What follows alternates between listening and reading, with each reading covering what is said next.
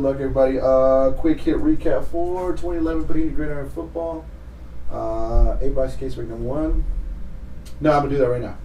We had Stephen Payette, TJ Yates, Tyron Smith, Terrell Pryor, Roy Helu Jr., Denarius Moore, Tyrod Taylor, Dion Lewis, Cameron Heyward, Ronald Johnson, and Jake Locker, uh, Kendall Hunter, Christian Ponder, uh, Arian Foster, Jamie Harper, Cam Newton, Jermaine Gresham, Ryan Williams, Jason Witten, LeSean McCoy, and Stevan Ridley.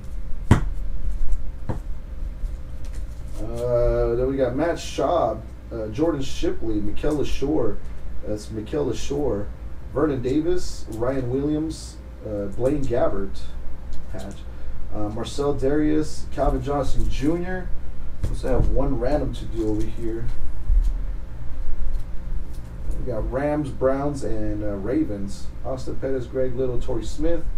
On the stand, we have uh, uh, Charley Taylor for the Redskins.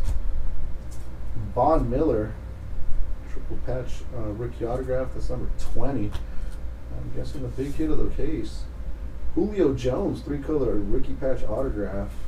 Uh, three of 15. Tony Romo on the stand somehow.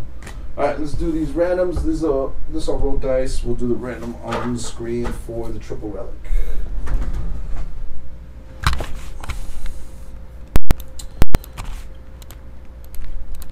All right, we got Rams, Browns, Ravens. Three times team on the top wins a card. One, two, three. Goes to the Ravens. Ravens win the triple relic. And then, oh, so we'll just roll a dice on on the uh, cards. One dice. Not the same team on all three of them. One dice. Odd on the left, even on the right. Odd on the left. So, Ravens, Ravens, Cowboys, and Colts win the card. Thank you again, everybody. That was fun. Yeah, it's the rubber helmet.